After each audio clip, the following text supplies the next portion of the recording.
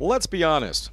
When it comes to being underappreciated, undervalued, and often mislabeled, one could argue that bats top the list. But here at Hubbard Elementary in Forsyth, Georgia, bats are held in high regard, treated as equals, part of the family, so to speak. And now, thanks to a $1,000 grant from the Department of Natural Resources, they have a place to call home. You see, every year, students in Dr. Kimberly Harris's third grade gifted class take on a project that focuses on one of the state's endangered species. This time around, there was some discussion about the red cockaded woodpecker, but in the end, it was decided bats it is. Well, at first I thought like they're disgusting, they're not. The only thing about them that was good was that they eat our insects so that we can like plant flowers and stuff like that.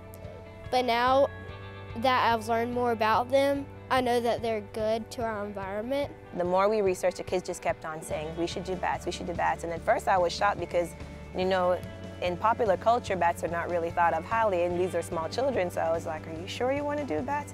Yeah, we think they get a bad rap. Disney's got it all wrong, and based on our research, they're really nice, and they help the environment in so many ways, and we should help them. And then the kicker for us was we realized that they are critically endangered in the state of Georgia because of white nose syndrome. So once our kids figured that out, they were just like, we are doing the bats. White nose syndrome.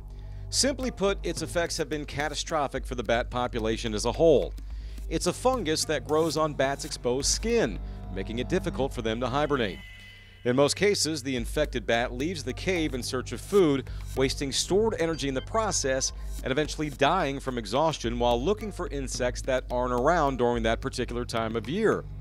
Knowing this from their research, students at Hubbard Elementary made it a priority to get their bat habitats correct from the onset. We started contacting biologists at the Georgia DNR. We worked with the Protect Protect to Connect, and I might be saying that wrong. I always flip, it might be Connect to Protect, but it's out of UGA. There, but botanists there to talk about the kind of plants that would attract the bats. So I really was able to get the assistance of several agencies to make sure that when we do get our habitat constructed that it would be successful.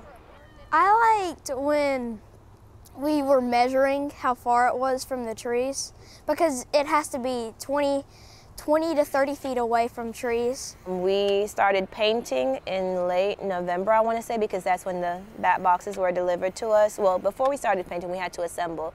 We bought one that was pre-assembled just so the children would have a point of reference, but then we also did research to assemble the other one, and that was quite interesting, putting power tools in the hands of my children because they had to do all the drilling, the caulking, and that was a big moment as a teacher of letting go and letting them do the work. I realized that they were capable and I just had to trust that they would not. and we taught them all the proper precautions, you know. They had all the safety equipment. We did several lessons just on wood of how to hoe, how to drill, what to do. Yes, a little test of the nerves to say the least, but as Dr. Harris explains, the lessons these children are learning now are lessons they'll carry throughout their elementary years and hopefully into adulthood.